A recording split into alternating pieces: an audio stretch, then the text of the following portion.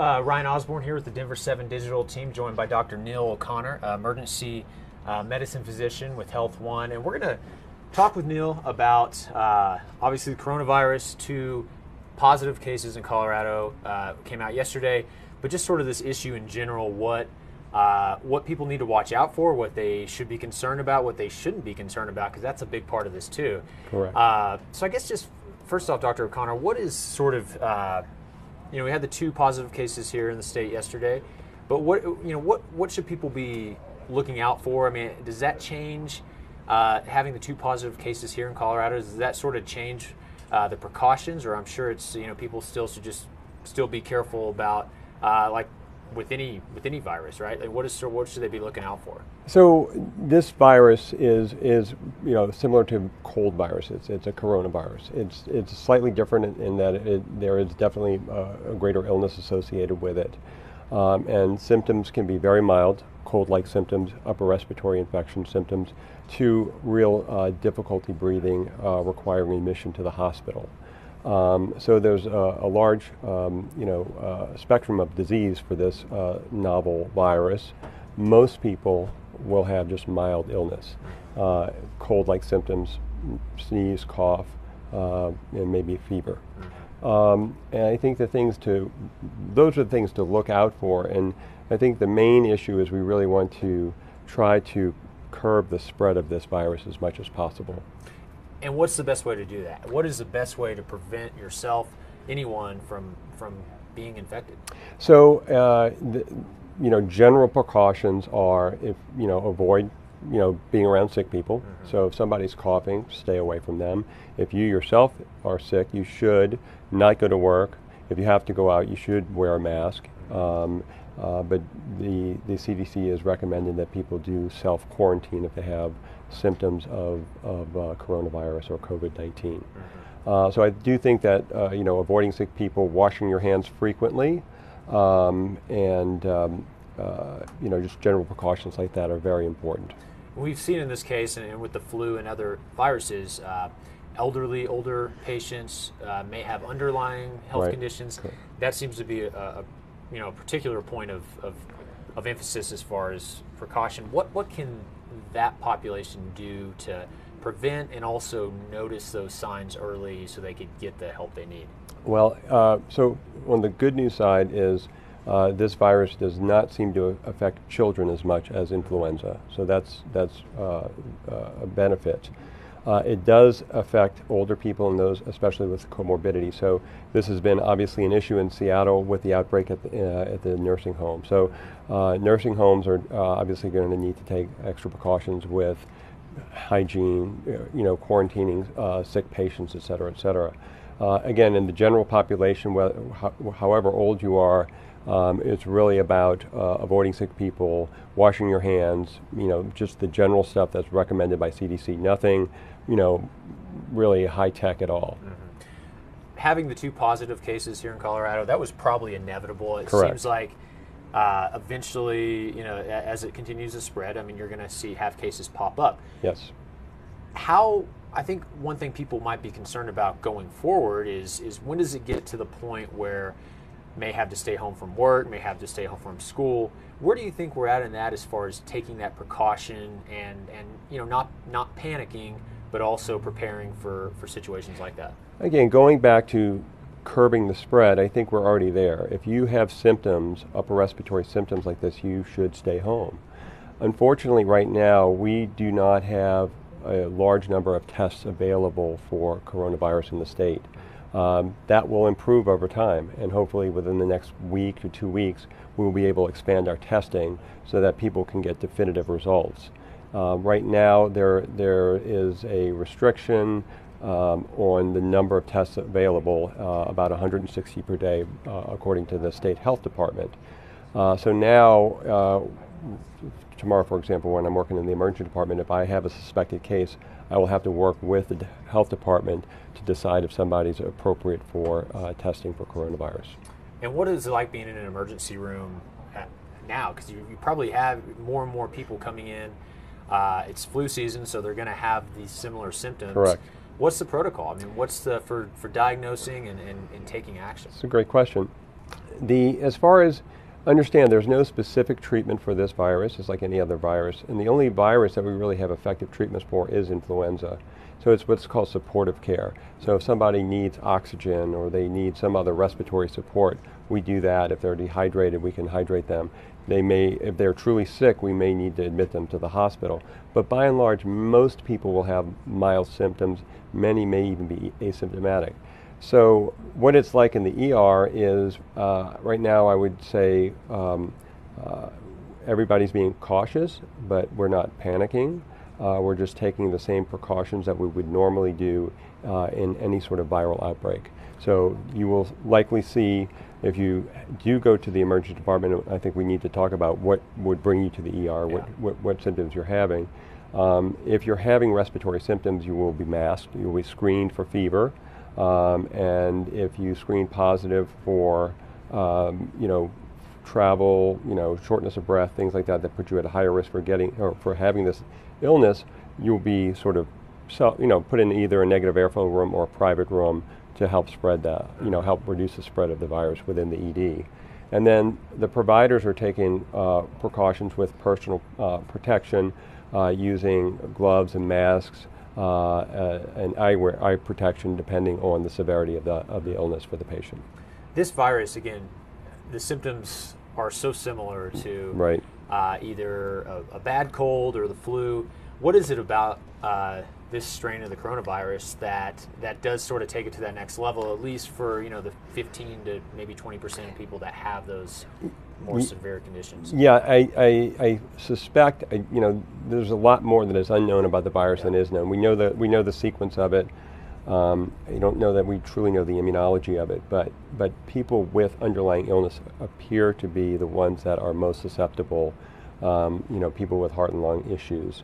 Um, what is the transformation from a mild symptom to severe. I think that that has yet to be elucidated. So yeah. there's more, much more to learn about the virus. Someone in the comments just, uh, you know, they asked about what about kids at school spreading the virus? I mean, that's going to be that's that, that's probably the toughest spot to prevent. Absolutely. Um, and again, I, uh, fortunately, it seems as if this virus it, it affects kids much less than adults. So that's one uh, very positive aspect of the of the uh, of the infection. Um, it really will be I, I, up to the uh, the health department and the school systems to decide. But certainly, if if, uh, if a, a, child is having illness, upper respiratory symptoms, uh, it should be uh, kept at home. Mm-hmm. You know. And of course, spring break is coming up. a lot of spring vacations planned. it's it's hard to tell you know how you can contract this virus as far as you know where you're traveling and, and definitely those specific areas where the outbreaks have been uh, you know it's it's advised to not travel there right. but what should people be uh, concerned or what should they consider as they uh, head into this this travel season that's a really interesting question um, uh, we had this discussion at my house today as we're planning on our daughter flying in from Florida uh, next week for spring break yeah. Um, and it's a, obviously it's a personal decision. I think what you're seeing, what I've heard, is that people are wiping down their seats. So they're bringing disinfectant wipes. So they're wiping down their seats. Uh, I think uh, obviously once you're on a plane, you're in close proximity to many people. So there is a potential increased risk for spread. Um, I, again, I think the whole concept of wearing a mask if you're asymptomatic is generally felt to be unhelpful but I suspect you'll see more people on planes wearing masks and things like that. Yeah. Um, but uh, obviously, when you're in close contact uh, in a plane, if somebody's coughing uh, close to you, that's a risk factor for transmission. Yeah. Governor Polis yesterday made an interesting point when he's discussing the, the patient who tested positive. Uh, that when he flew into DIA, he was not showing symptoms, right. so therefore he supposedly at a lower risk yep. for spreading it. Is, is that what you've seen, or is that what you understand? That's my understanding based on C, uh, CDC guidance, and, and, and that's very important because that really does affect the spread of a, of a virus. Is how early in the in the disease process are you symptomatic, mm-hmm. and eh, are you spreading the virus when you're asymptomatic? And what's fortunate about this uh, virus is it seems as if you are people who are most uh, symptomatic are most contagious when they are most symptomatic. So there doesn't appear to be a long period where the people are asymptomatic yet contagious. Yeah. So that will hopefully help limit the, the, the, spread of this. The mortality rate, or at least the mortalities from coronavirus in China, is what is pretty alarming to see some of those numbers. How important, though, is it to keep in perspective the different healthcare systems, you know, between from country from one country to another, and and how that can affect either the severity of the virus, the symptoms, or and or and also how it spreads. I mean, it's it's I'm sure it's it's different from you know Right. every hospital you go to from country to country. Well, first, I think we have to understand that um, because testing is limited, we really don't know the scope of this Yeah. virus. It may well be that uh, the mortality rate is a tenth of what we report in, in uh, China because not everybody got tested. People are, have you know, you know, mild symptoms or asymptomatic. So we truly don't know the, the mortality. What we, we only know the mortality of the people who, who were diagnosed with it, and we were certainly not broadly testing. Or, and that's certainly the case right now in, in the United States. We just don't have enough tests available to test broadly. So we won't know that for a while. Um, to your point, um, you know, we have a very well-developed healthcare system in the United States, uh, and uh, so that obviously will help mitigate the, the, the mortality rates based on the you know the availability of of, of advanced healthcare uh, if, if needed. Yeah, and we've seen a lot of events and conferences, uh, travel policies that extend into mid-April. Will warmer weather could that actually help, or do we just not know enough about uh, We- this strain yet? Right, we don't know the life cycle of the virus. I mean, basically, you know, with influenza, we have many, many decades of, of history of, you know, when it goes back to its, its, you know, animal reservoir and when it affects humans. Uh, with this, with this virus, we really, we, we don't know how long the, the, the, uh, you know, the, the, sp- uh, the infections will be going on and, you know, and how long it will remain in the animal reservoir and how likely it is to come back or not. So, uh, again, much is unknown about the, the, the, this novel coronavirus. Yeah.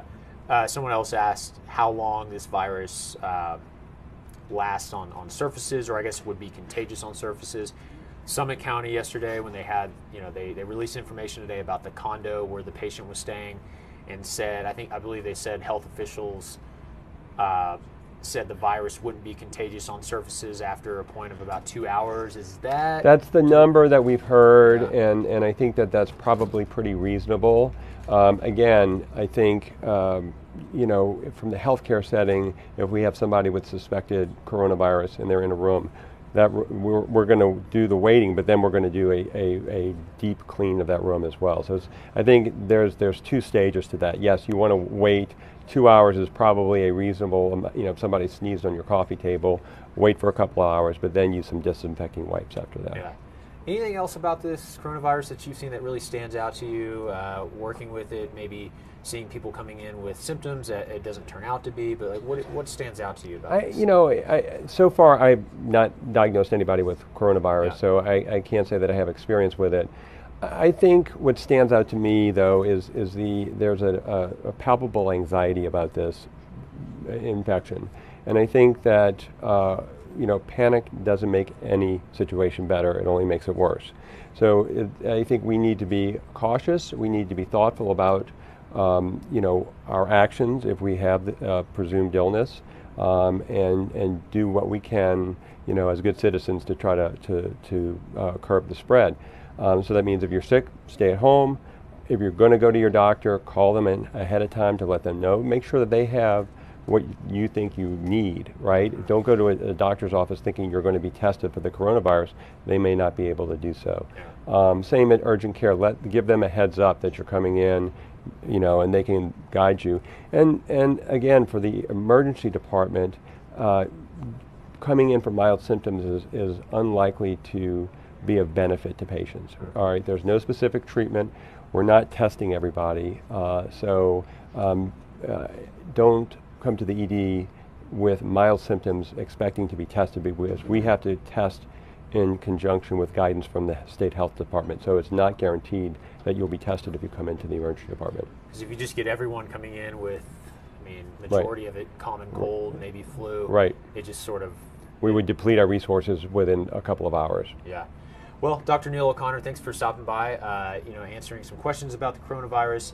Uh, we'll have more updates on this, you know, throughout the day on Denver7.com and uh, Denver, the DenverChannel.com and on Denver 7 News. But uh, but thanks again for stopping by, and uh, we'll uh, keep monitoring this as we go forward. So Thank you. it. Yes, Yep. my pleasure.